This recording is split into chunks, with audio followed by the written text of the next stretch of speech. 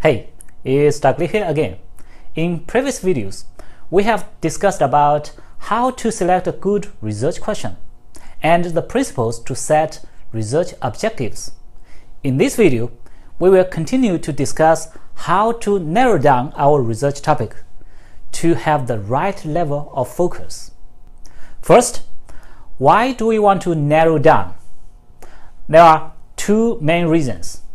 The first reason is that for a narrower topic, it is often easier for us to make solid contribution. It is more likely we can do deep and complete work. And it may take less time for us to get the work done and get published.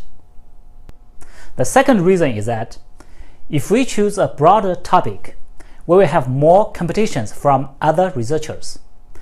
It is more likely we may either repeat other people's efforts or contradict with other people's findings. As Arthur Schawlow said, to do successful research, we do not need to know everything. We just need to know one thing that is not known. Usually, selecting a well-focused topic is the best way to make quick, unique, and solid contribution in a certain field. And it is also a wise way to cooperate with other researchers in the research community. Therefore, after we identify a critical research need, we often need to narrow it down to have the right level of focus. But how narrow our research topic should be, different people may have different idea. Usually, the narrower our research topic, the less related studies we can find in literature.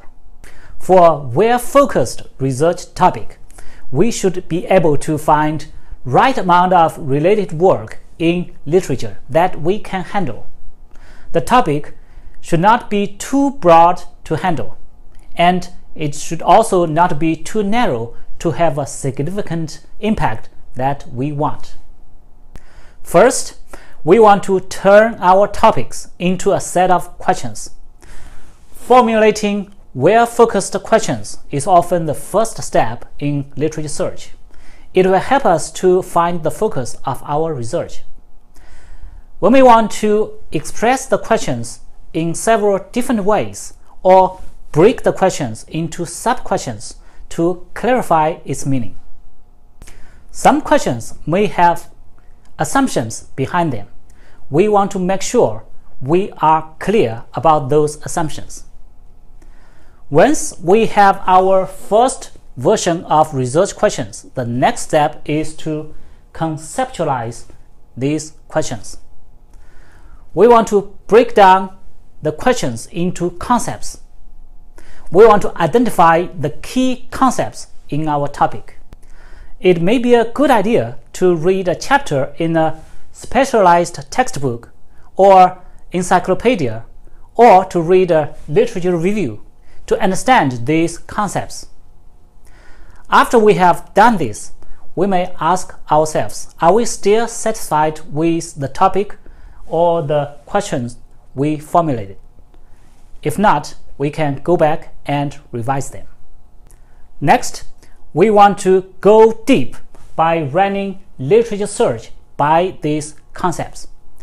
As we identify the key concepts, we want to brainstorming synonyms, and related concepts.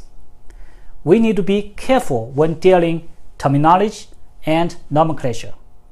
Sometimes different researchers use different languages to describe the same concept.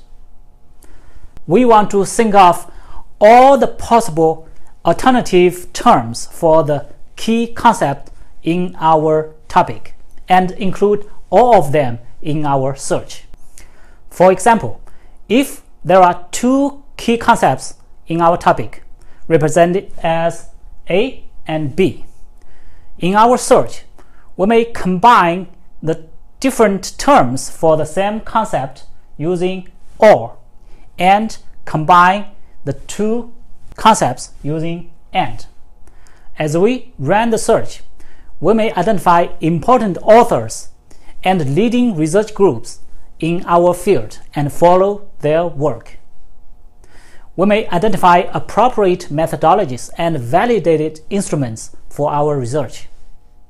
We may also identify variations in terms used by researchers and define our own terminology. Sometimes we may identify key journals in our field and browse them cover to cover. Most important, as we look at the results of our search, we want to ask ourselves, do we have too many or too few results? After scanning the first few items in our results list, we should have a better idea how we might revise our research questions or our search strategies to get more relevant results. We want to evaluate the available resources for our formulated research question. We want to evaluate both the resources in the literature and our own resources that can be dedicated to this research to determine whether we should further narrow down our topic. At this stage, based on the search results, we may be able to identify several aspects of the research topic. For example, different methods, geographic locations, categories of processes, etc. Then we will have opportunities to use these aspects to further focus our topic. Also, we may consider the comments on future research in recent papers. If needed, we may go back to refine our research questions and repeat the cycle. Thanks for watching. I'm Dr. Liu with research tips for the underdogs. After we have identified a good research question, the first thing we want to do is to narrow it down to have the right level of focus. Until next time, let's keep that in mind to make our life easier.